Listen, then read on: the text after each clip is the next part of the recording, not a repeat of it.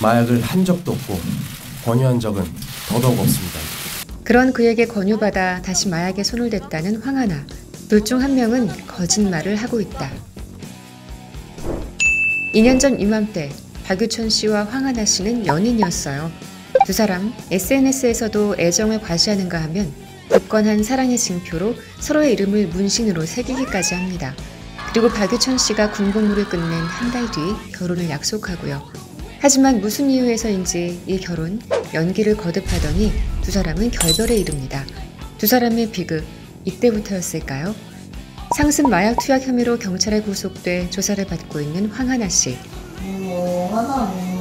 경찰이 파악한 황하나 씨의 마약 투약 시점은 2015년 두 번, 2018년 4월, 그리고 올해 초 두세 차례인 걸로 알려졌어요.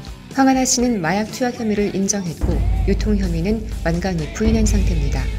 그런데 올 초 투약 현장에 있었다는 혐의를 받는 연예인 A 씨. 황하나 씨가 이 A 씨를 전 연인이었던 박유천 씨로 지목했다는 보도가 나왔어요. 박유천 씨가 필로폰을 권해서 투약했고 올 초에도 함께 투약했다고 진술한 걸로 전해졌고요. 수사기관에서 본인의 이름이 거론됐다는 연락을 받은 박유천 씨는 결국 긴급 기자회견을 엽니다. 저는 다시 연기를 하고 활동을 하기 위해서 하루하루 채찍질을 하면서 고통을 견디며 노력하고 있습니다. 그런 제가 그 모든 노력이 물거품이 되는 마약을 생각하거나 복용했다는 것은 정말 상상할 수도 없는 일입니다. 과연 누구의 말이 진실일까? 경찰은 황하나 씨와 주변인들의 진술을 통해 박유천 씨를 소환 조사할 예정이에요.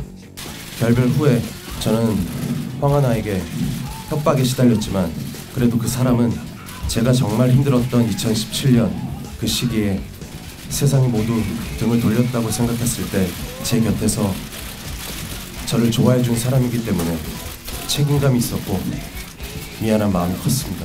한때 사랑을 나눈 두 사람, 이제 서로에게 화살을 겨누고 있네요. 진실은 곧 밝혀지겠죠.